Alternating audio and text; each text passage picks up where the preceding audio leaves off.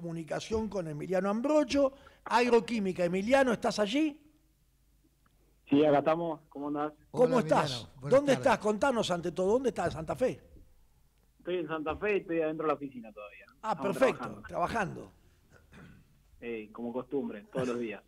Bueno, Emiliano Ambrogio, descendiente de lombardos, ahí del norte de Italia, allí ingeniero agrónomo, está desarrollando distintas actividades.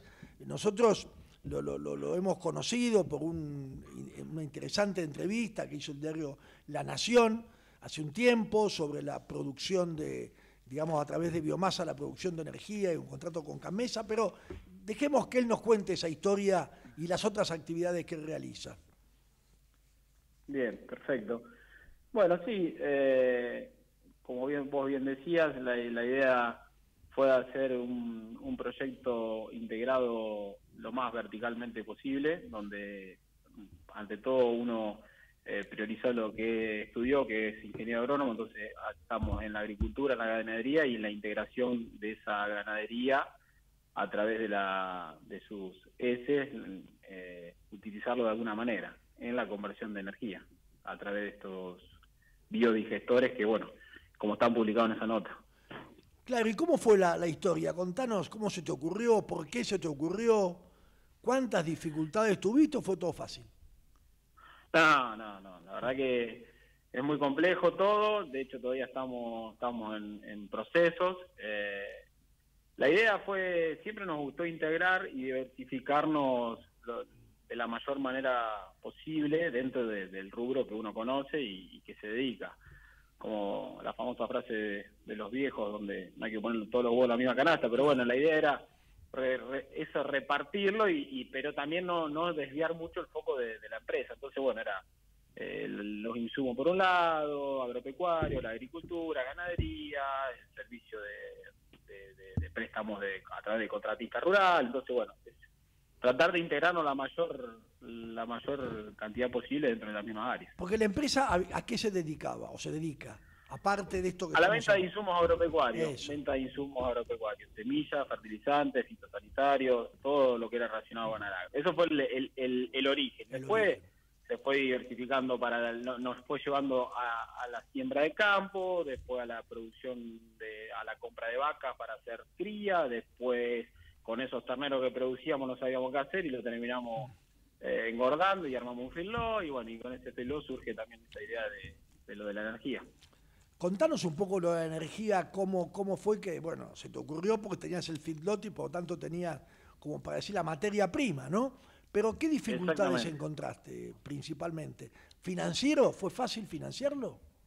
No, ahí, ahí el, eh, el, cuello botella estaba prácticamente en eso, porque es un, la inversión de esto es relativamente, o sea, demasiada cara, demasiado caro, entonces ahí donde estamos, y, como es algo medio novedoso, donde la, empresa financiera no no le no le encuentran, de, o sea, qué marco darle, entonces nos está costando eh, encajarlo básicamente por eso, porque para inversión productiva, como que no le encuentran la forma, entonces esto se necesita un plazo relativamente largo de financiación y bueno, los montos son grandes y necesitamos tasas relativamente acomodadas porque hasta que empieza a funcionar esto, bueno, es poner de, nuestro bolsillo. Claro, porque digamos que, que los bancos evalúan el riesgo, pero si no hay antecedentes de proyectos parecidos, no saben qué riesgo darle. Y como no saben qué riesgo darlo, se lo ponen alto. Como le ponen riesgo alto, la tasa es alta.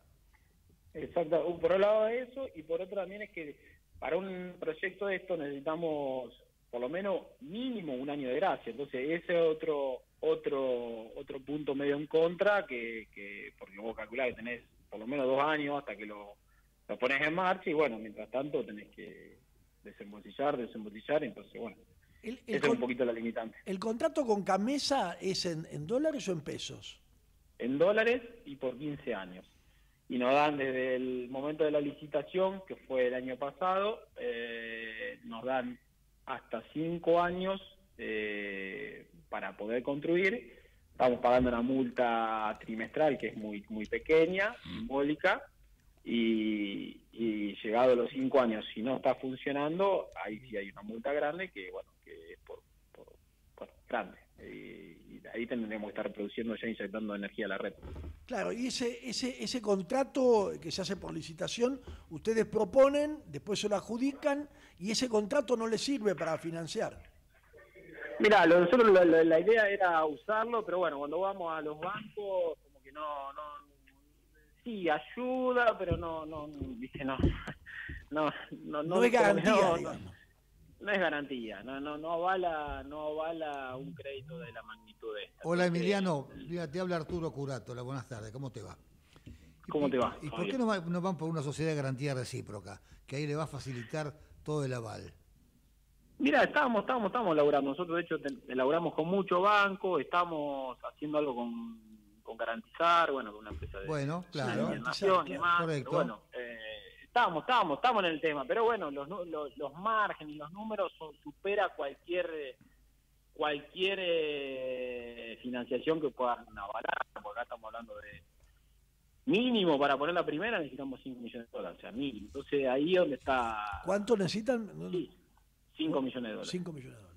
Claro. entonces ahí está el, ahí está el, tema. Y, y de paso que esto es o a todo nada, ¿no? o sea, no, no podemos hacerlo así, bueno, eh, como una casa, un departamento, bueno, arrancar con el cimiento, después levantar la pared, esto no, esto claro, no está todo es modular, es modular, o lo haces o no lo haces. Y, y, claro, entonces si no hago un pedazo y estamos la misma, porque te descapitalizaste, pusiste la plata y no lo tenés andando, entonces no, o esto o lo haces con todo a que a, hacerlo andar o, bueno, queda a mitad camino. Y contanos ahora eh, sobre el negocio digamos, agropecuario, tanto el agrícola que ustedes venden insumos como el del uh, el ganadero, el del feedlot. ¿Cómo, cómo va eso? ¿Cómo van esos negocios ahora?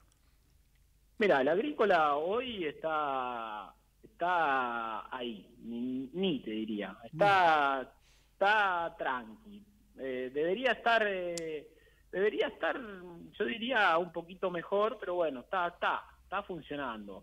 Lo que sí hoy hoy y estos últimos años eh, tiene una variable muy grande de riesgo que es indomable y no se puede no se puede evitar ni esquivar que es el factor clima entonces hoy la rentabilidad eh, con respecto al riesgo hoy es mucho mayor el riesgo de la rentabilidad entonces eso lo hace lo opaca o lo pone medio medio con sabor amargo al, negocio agrícola y el ganadero está está firme está lindo eh, porque hubo mucha liquidación de vientres años anteriores la seca también hizo que muchos se vendieran muchos animales, vientres sobre todo, entonces el ternero está, está el ternero y el novillo está, está, está, está, bien, yo diría que está bien.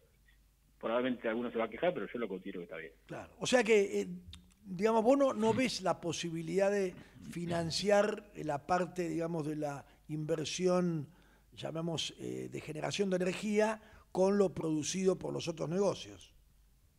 Mirá, sí, la idea sí, la idea era es, esa, pero... Eh, es armarlo con recursos propios.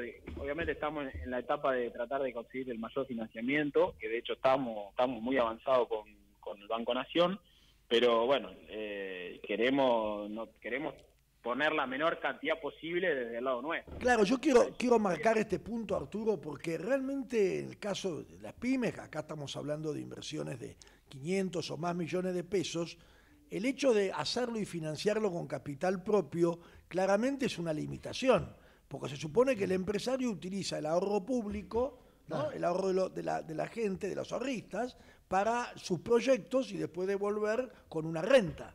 Si en cambio tiene que hacerlo con capital propio, se desvirtúa el concepto de empresario. Termina siendo una iniciativa de inversión prácticamente, no de, no de riesgo.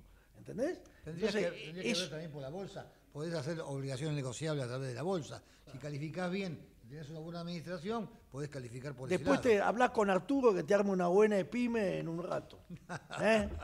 bueno, le damos para adelante, no hay problema. Claro. Acá lo que sobra es coraje. Bien, bien. Así me gusta, Emiliano. Y, antes de despedirlo a, Emiliano, quiero decir que, ¿qué edad tenés, Emiliano? 38. Ahí está, un, un joven, un joven emprendedor. Fuerza, fuerza, Emiliano, vamos. Bueno, muchas, muchas gracias Emiliano Ambrogio. Eh, vamos a, volver a, convocarte para ver cómo anda esto de agroquimia, cómo anda la generación de energía, si estás cumpliendo los compromisos con Camesa. ¿eh? vamos a, quiera, divulgar esto. Y estamos a disposición para lo que podamos ayudarte. ¿eh? Dale, muchísimas gracias. Te agradecemos Un abrazo, muchísimo. un abrazo. Creo que